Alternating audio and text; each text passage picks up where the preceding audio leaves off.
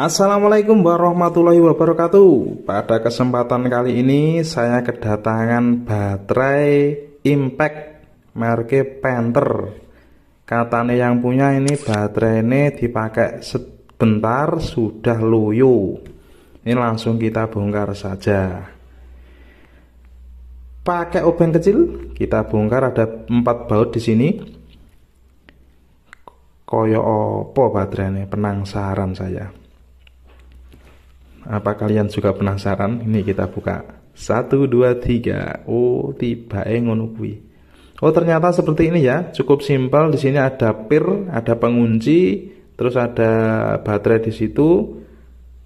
Ada BMS-nya atau baterai manajemen sistemnya. Nanti kita obrak-abrik aja ini. Kita bongkar-bongkar. Seperti ini ya untuk konstruksinya ini mereknya ini Panther. Kayak mobil lah Yes, langsung saja kita bongkar. Ini pakai baterai lithium ion 18650 ya. Warnanya biru. Untuk mereknya ini apa? Ya belum jelas ini. Ini sudah lama rusak katanya. Dipakai cuma sebentar. Dua kali itu sudah habis ini untuk kapasitas 1500 mAh 2P berarti sekitar 3 mAh ya. Ya 3 mAh 3000 mAh atau 3 ampere. Dengan voltase 21 volt. Atau 18 volt. Kurang lebihnya seperti itu. Seperti ini konstruksinya. Simple banget. BMS ya biasa saja ini kelihatannya Langsung kita copoti ya BMS-nya. Ini kita copot-copot biasa pakai ubeng. Karena ini malam ya, jadi nggak begitu kelihatan videonya. Mohon maaf.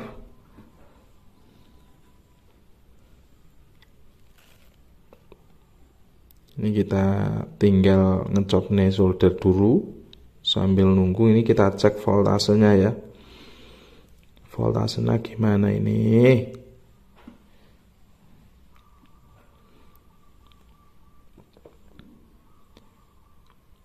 Kita cek voltasenya 19 volt ya 19,94 sebenarnya voltasenya ini masih kategori utuh cuman karena mungkin ada beberapa baterai beberapa biji ya yang ngedrop jadi saat dipakai itu langsung drop langsung short bukan short ya langsung drop gitu. Jadi ini perlu penggantian baterai. Tapi sebelum kita ganti nanti kita cek satu persatu untuk baterainya. Ini kita lepasi dulu ya.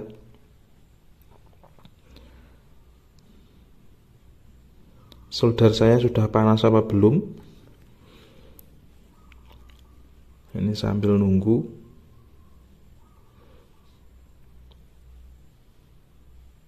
ini ada anu karatan ya untuk plat nikelnya. Agak karat-karat gitu. Nah sudah panas ini kita lepasi semua ya agak lama nunggu solder panas sih mohon maaf.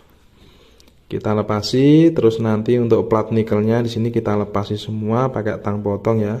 Hati-hati karena ini masih ada tegangannya. Jadi jangan sampai menyentuh sel satu dengan sel yang lain ya. Karena itu bisa konslet nanti.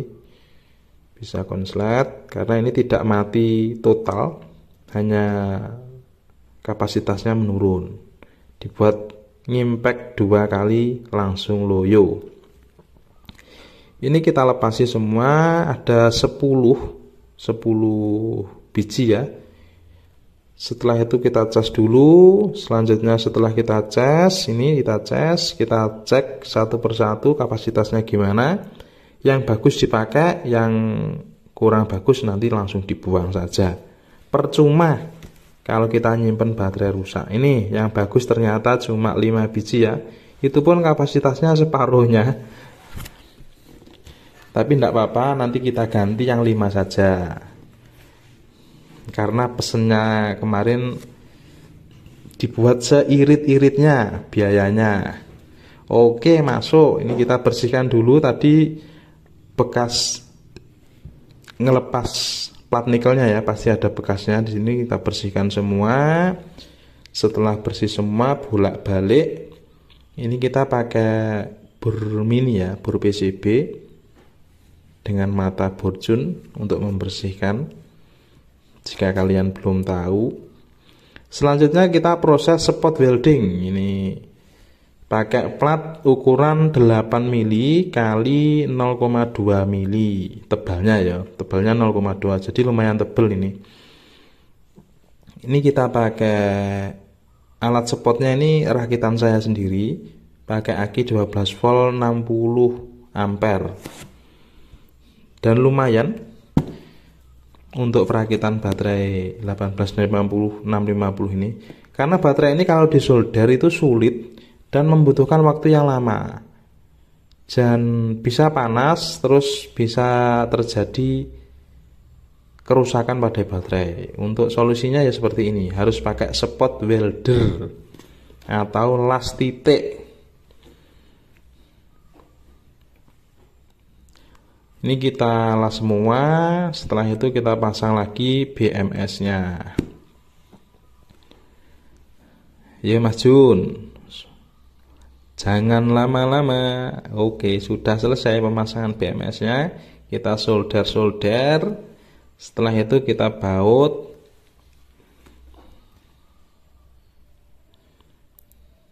Gak sabar ya. Kita baut. Posisikan di awal, jangan sampai kebalik. Oh iya, untuk pemasangan baterai ya, jangan sampai terbalik ya. Karena pengalaman saya dulu itu sudah saya spot sudah saya las semua ya ternyata pemasangan baterainya terbalik. Jadi bongkari semua. Wah repot kalau kayak gitu. Untuk kalian-kalian yang pengen coba-coba diperhatikan dulu posisi baterainya. Di sini kok nggak kelihatan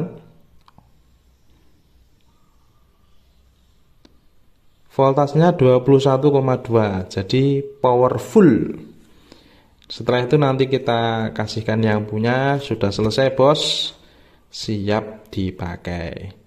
Oh iya jangan lupa dipakai isolasi ya di sini untuk pengaman atau isolator kanan kirinya baterai. Menghindari nanti kalau kesentuh sama plat biar tidak rusak baterainya.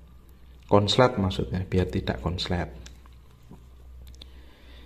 Setelah selesai nanti kita lanjut pemasangan dan kita laporkan kepada yang punya. Oke, itu aja pengalaman dari saya penggantian baterai Impact merek Panther.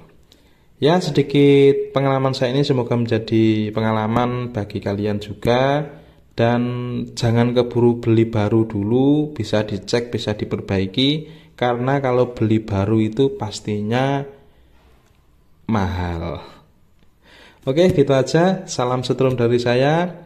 Semoga bermanfaat dan assalamualaikum warahmatullahi wabarakatuh. Terima kasih.